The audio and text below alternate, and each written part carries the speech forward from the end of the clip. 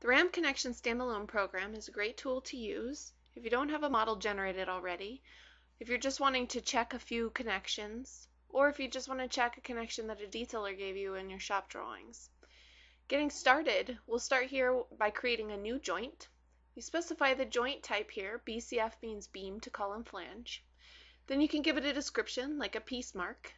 Specify your beam section, your column section, and then tab over to the loads where you can specify, in this case we'll just specify 10 kips of dead load shear and 15 kips of live load shear.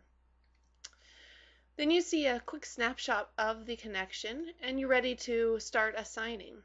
To assign a connection, if you know what you have, you can come over here on the bottom right to the list of different types of connections, specify the type, by double clicking on it and assign it to this joint. In this case, this is a bent plate that's a half inch thick with three bolts that are 7 8 inch diameter. Once you specify that, the program will tell you if that works or not. Or we can come to the Design tab and assign a type of a connection where the program is going to pick from a list the most optimal connection. In this case, we'll pick a single plate connection and the program will assign it. After the assignment has been made, press the Edit button to view that connection in more detail. The connection pad will open to the 3D view of the connection again, which you can rotate around to take a further look at. The program also will generate a DXF view of each connection. This 2D snapshot of the connection can be exported to DXF so that it can be used in your CAD package. On the left hand side is the data panel, so all the information about the connection is contained here.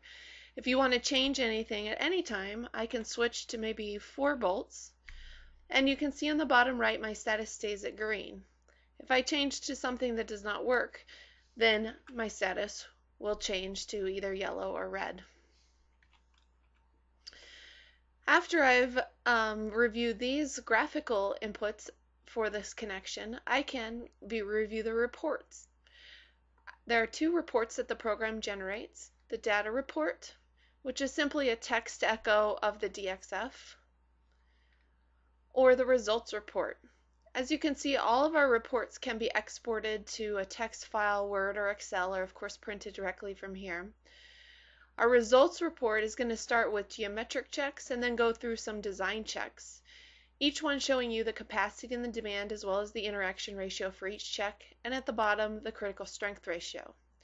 If I wanted to see more details about a certain calculation, for instance, this bolt shear capacity, what goes into making the 47.74, at the top I can click View Formulas.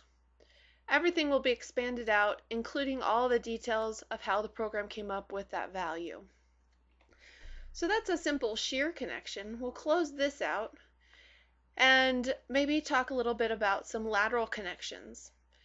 I'll take this guy and I can copy it. This time adding in some moment here. 30 kip feet. If I need to design for seismic provisions, either for your moment frames or your brace frames, underneath the design configuration in the assignment menu, I can select consider seismic provisions and specify my design category. Then you'll see on the joint input screen, now you have the option of specifying your seismic load resisting system. Is it this part of an ordinary, intermediate, or special moment frame? If it's part of a special moment frame, you also have the option of specifying an RBS or dog bone connection. Then, after we've specified our seismic provisions, we can come and ask the program to assign maybe our moment connection. So in this case, I'll pick flange plates. This time I've got a red light. Again, by double clicking on the connection, usually I'll go to the results page and I can see what about this connection is not working. You can see for a few of the FEMA 350 checks, my flange plate thickness that I have specified is just not adequate. So I can come back to the data panel and make those changes accurately. The program will also check my support to see if stiffeners or doublers are required. This calculation can be performed for a moment frame, as I mentioned, as well as braced frames. The program also includes base plate connections.